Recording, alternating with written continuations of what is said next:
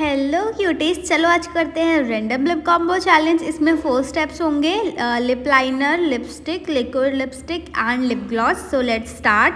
आग बन करके मैं इसमें से एक चूज़ कर रही हूँ एंड सरप्राइजिंगली मुझे मिला पर्पल कलर मेरा फेवरेट ब्लैक के बाद मेरा फेवरेट कलर पर्पल है आप लोग का कौन सा है कमेंट में ज़रूर बताना उसके बाद बारी आती है लिपस्टिक की सो आइस क्लोज करके मैं ढूंढ रही हूँ और मुझे मिली ये Hmm, कौन सी है ये लैकमे की lipstick in the shade brown काफ़ी प्रिटी एवरीडे के लिए शेड है बहुत अच्छा शेड है उसके बाद बारी आती है लिक्विड लिपस्टिक की एंड मुझे मिला ये रेड कलर जो कि है इनसाइड का in the shade red ocean उसके बाद बारी आती है लिप ग्लॉस की तो मेरे पास सिर्फ दो ही लिप ग्लॉस है तो मैंने सोचा अक्कड़ बक्कड़ बम्बे वो कर लू तो मुझे मिला ये क्लियर लिप ग्लॉस जो की है स्विस ब्यूटी का ओवरऑल मुझे तो ये लिप कॉम्बो काफ़ी पसंद आया आप लोग को कैसा लगा कॉमेंट में ज़रूर बताना एंड मेरे चैनल को सब्सक्राइब कर देना बाय